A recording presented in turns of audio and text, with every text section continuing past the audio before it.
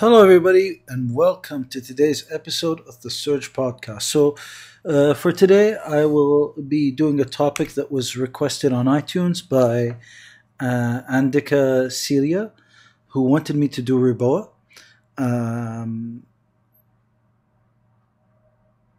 yeah, so clearly, uh, saying do uh, 15 times in a row uh, makes it very clear that I'm going to be doing REBOA today. Uh, thank you for the five stars, and uh, thank you for uh, reviewing uh, the podcast on iTunes. Uh, it's good to see that I have people in Indonesia listening to it. I was invited there. Very beautiful country, by the way. Everybody should go, in my opinion. Really interesting. very interesting healthcare system. very, very, very nice people. So, REBOA, a primer. So uh, I can't remember what it stands for anymore. Uh, I usually prepare these slides as talking points like 10 minutes before I start, 15 minutes before I start. Um, as usual, you're going to hear my phone ring every now and then. I'm on call. I apologize. So I can't remember what it stands for anymore. But in the interest of full disclosure, um, I don't use it in Kuwait that often, but I do teach it a lot outside of Kuwait and I do proctor it. And I learned it from endovascular surgeons um, who, who, I think you should try and get to know very well if you're going to be doing this stuff. Whether you're from an emerge background, ICU background, or surgery background, I don't care. If you're going to be doing REBOA, get to know your endovascular guys, right? So for today, we'll be talking about uh, some of the concepts, the ethos, uh, the indications, effectiveness. So a quick rundown and some pearls. So whenever I talk about anything technical, you hear me say the word concept a lot it's because I think that the concepts and the general principle or the guiding principle uh, when I say general principle, I mean the overview. When I say guiding principle, I mean the intent behind the move. So if you understand the intent behind the Mattox maneuver, you can perform it very well, very adequately for your needs. The intent here being exposing huge vessels in the retroperitoneum. Uh, when I say that the intent behind uh, ultrasound guided central line insertion, your ability uh, to target the vessel correctly, to ensure that you're in the right place correctly, to perform the steps in the correct manner, uh, exponentially improves because you understand the guiding principle behind it. And so the guiding principle behind REBOA is proximal control. And what I mean by proximal control is to stop the blood from getting into the area where the hole in the vessel is. Distal control is to stop the blood from flowing back from where the blood would normally go had the hole not been there. And that's what I mean by proximal and distal control. Uh, another way of putting it is if it's an artery, then you're talking about the part that's closest to the heart. If it's a vein, then you're talking about the part that's closest to where the blood is flowing from, in the legs, for example. So a REBOA is a form of proximal control, very similar to clamping a vessel, but you're doing it on the inside, and just like clamping a vessel, you can do it partially as well. If you understand this concept, it becomes easy to translate it. Now, the reason why REBOA and other forms of hemorrhage control of this type are important is because non-compressible hemorrhage remains an extremely, extremely prevalent cause of death and trauma. So we've gotten better at airway obstructions, even in the combat theater. We've gotten better at tension pneumothoraces, even in the combat theater. But to this day, we're having a huge problem dealing with non-compressible hemorrhages of the torso. And by the torso, I mean the chest and the abdomen. And I think that it's very important to understand. I know that trauma sounds boring. I know that trauma is a single, uh, what they call it, a single shock science. But when you look at the bigger scheme of things, damage control resuscitation has undergone a robust change.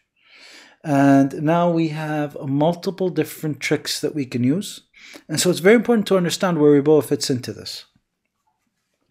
And that's going to be part of our talk today. It's to understand that REBOA is an in hospital form of damage control and that it is normally used as a bridge to get you towards definitive care, right? Just a quick review of uh, torso hemorrhages and how to do them right and wrong. So, in the 1970s, generally as surgeons, we used to think that the quicker we could get into the abdominal for abdominal bleeding, the better the surgeon was and the better the outcomes were. Uh, Kenneth Mattox and David Feliciano, who are like the trauma surgeons. So these are the guys who define trauma uh, to an extent that I can say uh, Bruce Lee defined Jeet Kune Do. Uh, these are probably two of the strongest, the best trauma surgeons ever. And so I think that they were testing the principle. They tried to do emergency department laparotomies. And what ended up happening was uh, 51 of 51 patients died. Uh, and they had no survivors uh, using that method. And so the decision was made that the best method would be to clamp the aorta in the chest to be able to control the bleeding below. And uh, the role of thoracic uh, aortic occlusion was sort of first described at Wayne State, but it was Mattox again. And David Feliciano wrote a whole bunch of articles on this too, proving the same thing. And this is a proof that showed that if you address the chest in the emergency room by opening the chest and clamping off the aorta, getting proximal control, i.e., the same thing that you would do endovascularly with a Reboa, if you did that, you had about a 25% survival rate in agonal patients with systolic below 60 and bradycardia. The concepts here are pretty much that you're dealing with non compressible hemorrhage, an occlusion of the aorta, proximal control, and diverting cardiac output towards vital organs, such as the chest, the sorry, the heart, the lungs, and the brain, not the chest, and the added advantage of keeping the chest closed might be able to push that 25% a little bit further. So this wasn't the first time that we tried Reboa. Um, or Reboa wasn't a new invention, more aptly. It was actually started off in the Korean War in 1954. They tried to land a radiopaque catheter that you can see here, where there was a balloon at the tip. They inflated in three agonal patients, and all three of them died. This was a U.S. Army funded project in Walter Reed Medical Center, and it didn't go very well. Uh, needless to say, uh, it was dormant for a while. Technology got better over time, and in the pre interventional radiology point of care ultrasound days, um, it was restricted to penetrating injury, but Reboas were still kind of used. There were a couple of case reports here and there. And it was done through a cut down method.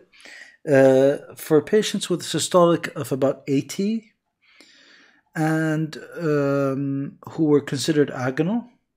It was used to control the bleeding from the site more so than to actually, um, you know, sort of um, avoid using pressors at the time. Because in 1989, we still loved vasopressors in trauma. And now we don't. I hate vasopressors and trauma. I'm not going to change my mind. You can try and kill me for it. I'll only use it for brain trauma.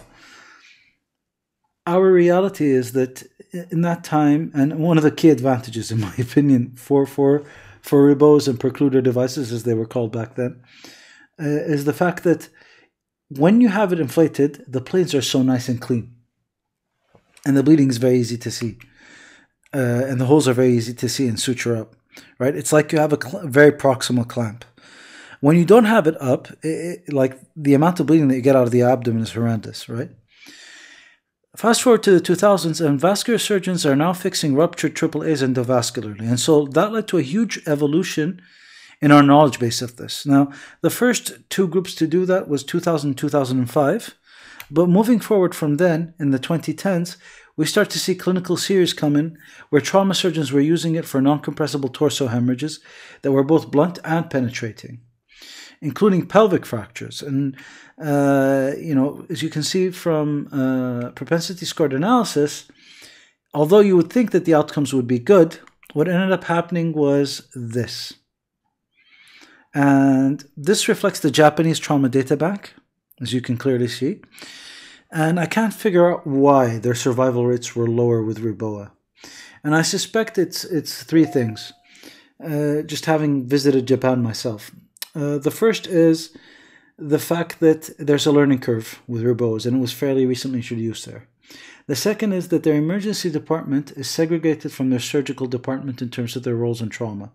So, one of the things that you have to realize, especially if you have a North American background, is around the world there are still general surgeons who are uh, labeled as general surgeons who uh, will do trauma and will be first for response for surgical interventions in trauma but will not have a leadership role in coordinating the other services involved. And you will have emergency doctors who will have a role in the resuscitative aspect of trauma care, but will not be actively able to decide if the surgeons will operate. They do not have a full TTL system in place. They have a joint custody system where it's um, you know it's it's it's a horizontal program as opposed to a vertical one, whereby the emergency doctor does their best to keep the patient alive with the ICU typically. Will call the orthopedic surgeon to out any fractures and then have those addressed while they're waiting for the general surgeon to make a decision on whether or not to operate on this patient. And you know, as you can see, that that that sort of care plan works in terms of hospital flow because your patient's going to get through the hospital flow very quickly but it may not work uh, for high intensity, high ISS score, very severe traumas like the ones that require REBOAs. And I think that that might be another problem. The third problem might be the false sense of security. When you've inflated that balloon and you get a systolic of 80 or 90, you're more likely to try and wait and see if the patient will respond. Uh, to uh, fluids, etc., and, and blood products. And I think that having that mentality doesn't work because that just tells me that you don't know what a REBOA does. With all due respect to the people who wrote the paper. I think that if you're waiting for somebody to respond to a blood transfusion after you deploy the REBOA device and you're not going to angio and you're not going to cut their skin open, you have a problem because you don't understand that you've just clamped off the aorta and you're killing off the kidneys without acting upon it. I'm sorry, I lost it there a little bit, but it's because I've had this argument 150 times with the guys over here and, you know, it's a problem. When you do compare REBOAs with ED thoracotomies and centers that provide vertically integrated care, like uh, Scalea's group, uh, you tend to find that REBOAs are far superior. Yes, the number is smaller for the REBOA group. And yes, uh, you know, the uh, uh, trauma burden seems to be relatively contained to uh, a quarter by quarter by quarter chest abdomen uh, extremity. Like it's it's like that type of thing. And yes the ISS score was slightly lower in the REBOA group. All these things are correct. But you can't deny 37.5% uh, like it would be a very hard number to deny because I put it to you this way. So 37.5% uh, is 9 patients out of 24 so if I went for 9.7% of 24 that's 3 patients. So 6 more patients survived and I think that even if that's potentially wrong, the probability of having six more patients survive by just having this available to you in the emergency room is amazing. But the question becomes when do I get away with it? When do I do a REBOA versus an ED thoracotomy? And my answer to you is it depends on how well your emergency room is equipped for deploying REBOAs within your program. You should not deploy it if it takes longer than an ED thoracotomy does. I'll say this again. Your concept should be who's faster? You with your catheter, or me, me with my ED thoracotomy. You can both be trauma surgeons, or you can both be emerge docs, or you can both be intensivists. And yes, I've met one or two intensivists with an internal medicine background who can comfortably open a chest and clear a tamponade. Like it's kooky when you see it. And I know one anesthetist who can open a chest faster than I can. David Bracco, if you're listening, you taught me half of what I know, the anesthesia half when can you get away with it becomes who's faster, the guy who's holding the catheter or the guy who's who's opening the chest. And that's how I would start it off. I would start off with a systolic of 90, just like they do at the University of Maryland. And I've taken permission to publish their um, their algorithm. And, you know, I, I, would set up a common femoral A line uh, for REBOA if my systolic is less than 90. I would upsize it uh, to a 7 or 12 French sheath and then I would deploy the REBOA depending on what I see. If I suspect any bleeding within the torso, I'd go for zone 1, which is uh, from the subclavian uh, to the perirenal aorta. Zone 2 is from the perirenal aorta and below, and zone 3 is infrarenally. Um, so I would deploy my REBOA in zone 1. If it's an isolated pelvic injury or I have a high suspicion that it's an isolated pelvic bleed, I would deploy it in zone 3 and save the kidneys. Uh, the Korean and Japanese guidelines are very similar in that nature, but they offer a straight to embolization paradigm or straight to surgery paradigm with orthopedics involved as well, as you can see, right? Whereas the University of Maryland guideline will always advocate for a laparotomy first. The uh, Japanese have a level of intricacy where they go into uh, whether or not angioembolization, preperitoneal pelvic packing, surgery, or orthopedics should be involved and that's that's why you know I illustrate the point of, of it being a more questions, more thought processes involved when you're dealing with trauma in Japan than when you're dealing with in the States, where you have one person um, taking ownership of the situation, right? And the question becomes who should own Reboa? I think that the person who's receiving the systolic of AT trauma should be doing the Reboas. The person who's responsible for keeping the patient alive should be doing the Reboas. It should not be a discussion that should be had at chairman level if your chairmans aren't on the ground with you. All due respect to all chairmans, I've worked in a bunch of different hospitals. Some of them are more hands on, some of them are more hands off. There's advantages to both systems. I like working with both types. What I don't like is people making decisions that could affect my daily practice without asking me. And this is one of those things that has to be discussed at that level. So I teach Reboa all around the world.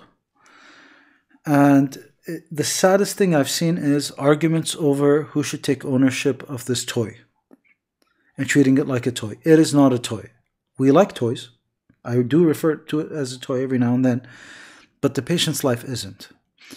If you are an anesthetist who does ECMO regularly on a semi elective or elective basis, or even in the ICU, but you're not used to dealing with things in the emergency room, and you're making an argument that you should be doing Reboa because you do ECMO anyway, and you know how to access a vein and an artery, okay, that's great. But have the conversation with your emergency room to make sure that it happens in the correct manner and that you have what you need to simulate what you do in the ICU and in your operating room. If you're a vascular surgeon who only works in an angio suite and you want to come to the resuscitation room and do a Reboa, and you don't know how to do it without an x ray and without fluoro, dude, have that discussion early. Make sure that you have them available. And make sure that you're willing to own the patient. Right? If you're a general surgeon who does not deal with trauma acutely, but has emergency doctors who do, invest in championing those emergency doctors.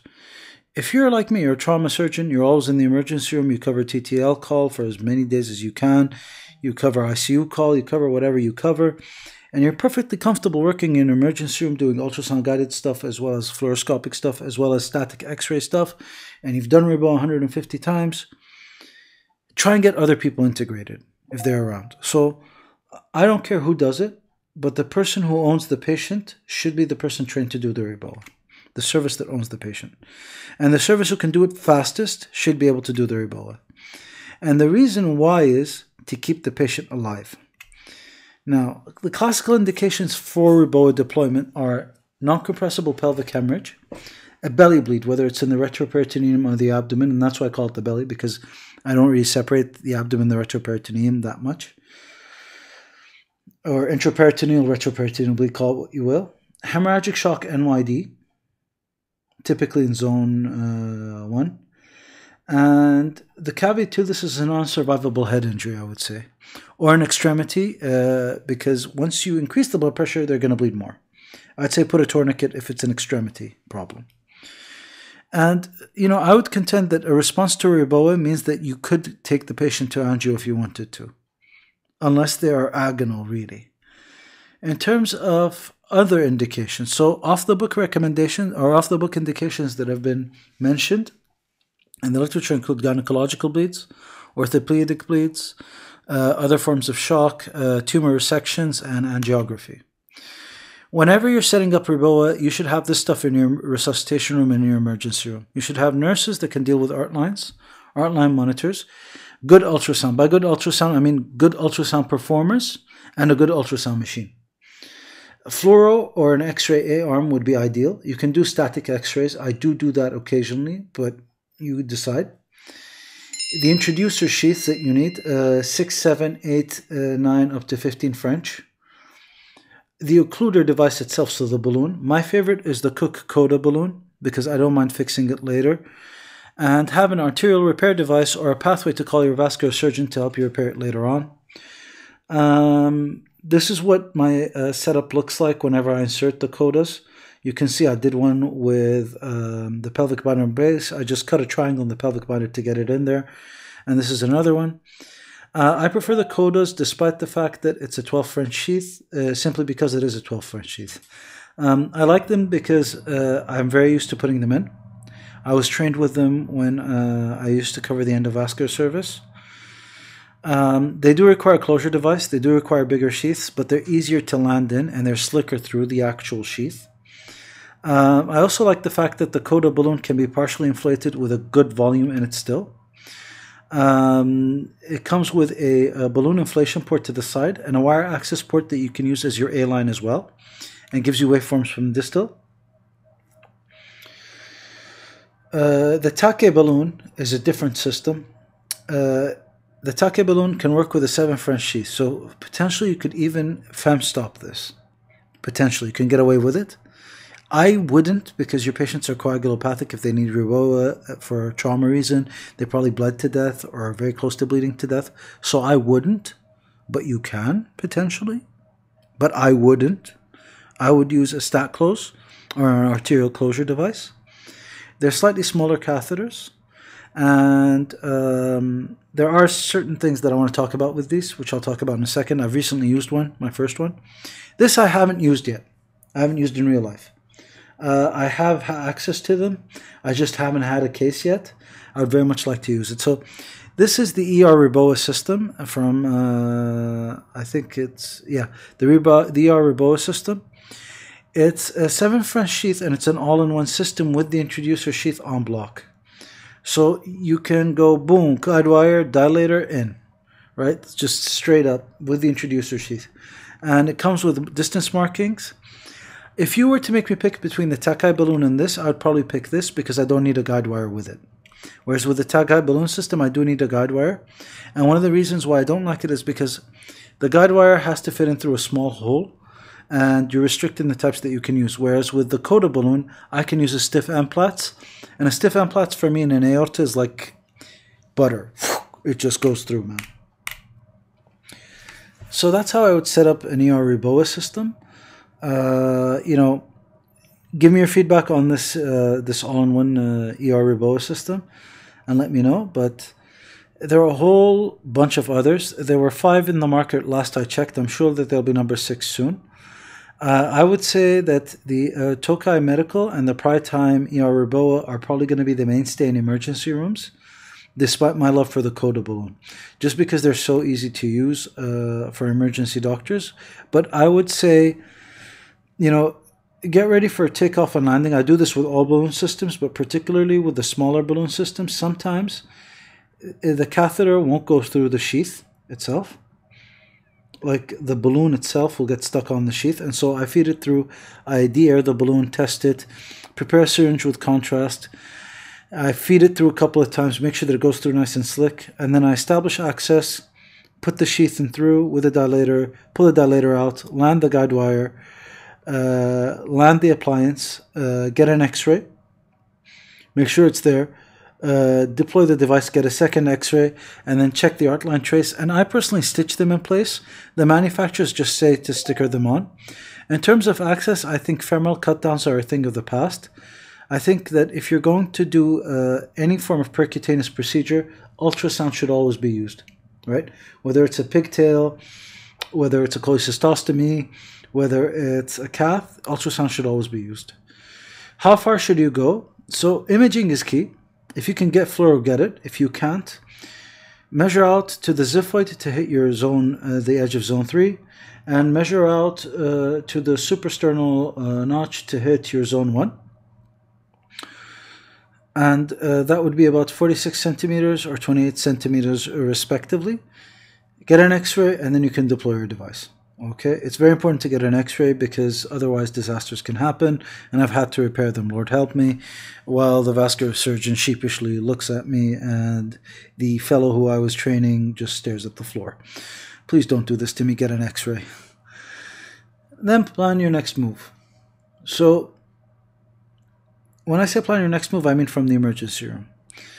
Uh, should you go to angio? Should you go to the OR? Or is your patient uh, turning the corner? And if they are, you know, I tend to land it in zone three. Some people do partial deflations. There's no good data there. In terms of closure and how long you can keep it in, there's no good data. I would say clamp time of over four hours is a bit of a problem if you're above the kidneys. Six hours is certainly a problem. And intermittent decompression could be an issue. There isn't that much data on how long it takes to learn. But there was a, a basic endovascular uh, skills and trauma course where they looked at how many you should do, and it's a teach one, do one, uh, see one, teach one, do one type of situation. The golden number seems to be 40. I'll be honest with you, when I proctor people, uh, usually after about 10, they're okay. I haven't seen that many disasters. There was only one place, and it was a place where people were competing over who does it. If you all work as a team, things go well. Uh, lastly, I'll be dealing with this in greater detail. I'll be doing a whole talk on endovascular complications, whether it's uh, REBOA, ECMO, or whatever else, and how to address them. But um, know that at every stage there should be a concern or a hazard. So during arterial access, you could land in a vein instead. You could puncture the artery and dissect it. Uh, you could puncture through the inguinal ligament, which is not disastrous, but could happen. Uh, during the balloon uh, selection and positioning, uh, it could move up and down. The guide wire itself could be too stiff and could actually rip through something or land it in the arm instead. During balloon inflation, you could overinflate, causing disaster that we don't talk about, and free damage to the aortic wall. Uh, during balloon deflation, you could deflate and actually cause a profound hypotension, which would uh, lead to a sudden arrest, especially if I engaged anything earlier. And during sheath removal, you can cause a hematoma or pseudoaneurysm formation. Uh, this is Saad Al-Zaid. Uh, thank you for listening and thank you for requesting the topic. Um, I'll try and put up a couple of videos uh, if I can get um, permission from the copyright owner uh, because I, I, sort of work for a company that does this teaching stuff and uh, I'm not sure, uh, they're not sponsoring me, so I'm not going to mention their names. I'm only joking, but I'm not, but I am.